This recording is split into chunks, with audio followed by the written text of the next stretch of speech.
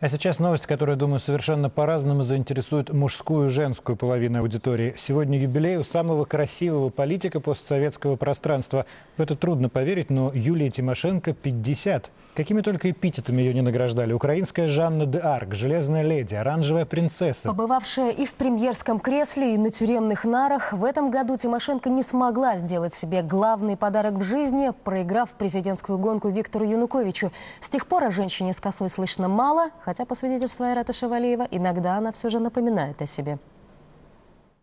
Необъятные букеты и подарочные коробки привычной рекой текут к особняку под Киевом. Молодой сосед даже собирается забежать на огонек с поздравлениями. Зайдем поздравить обязательно на чаек но именинницу дома не застанет. Юлия Владимировна отключила сегодня мобильный и уехала из столицы, предположительно на малую родину, в Днепропетровск. Будет праздновать в узком кругу семьи.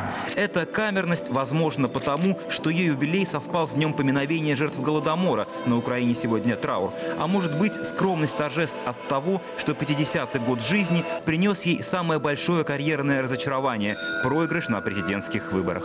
Леся Украинка, писательница, поэтесса, национальная икона. Считается, что именно с нее Юлия Тимошенко скопировала свой хрестоматийный образ женщины с косой. Образ, который во многом и определил ее политический успех. К этому своему бублику на голове Юлия Тимошенко шла мучительно. И каждый раз изменение в ее имидже соответствовало перелому в ее биографии.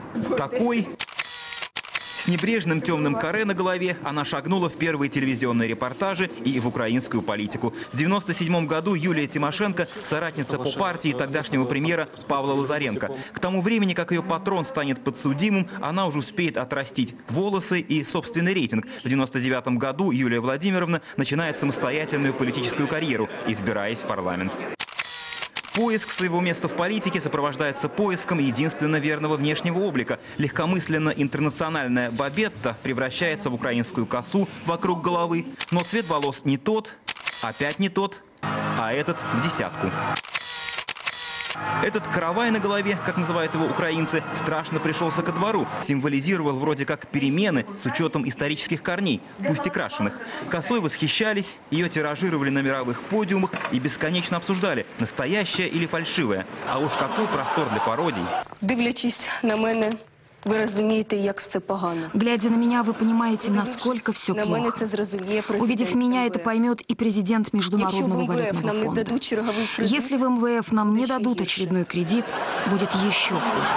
За годы премьерства коса вместе с ее хозяйкой потеряла свою новизну и привлекательность в глазах избирателей. По совпадению, тот самый памятник Лесе Украинки стоит перед зданием Центра избиркома, который и констатировал в уходящем году грандиозная фиаско Юлии Тимошенко. Ее собственные слова, сказанные перед прямым предвыборным эфиром, оказались пророческими.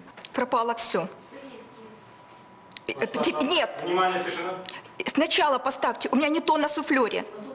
Эта галерея женских образов во многом объясняет феномен Юлии Тимошенко. Она всегда такая, какой нужно быть в этот конкретный час и легко меняется под воздействием обстоятельств или толпы. Говорят, в последние дни она снова подкорректировала стиль. Коса вокруг головы осталась, а вот пробор по-хулигански сместился на бок. Для ее политических конкурентов повод задуматься.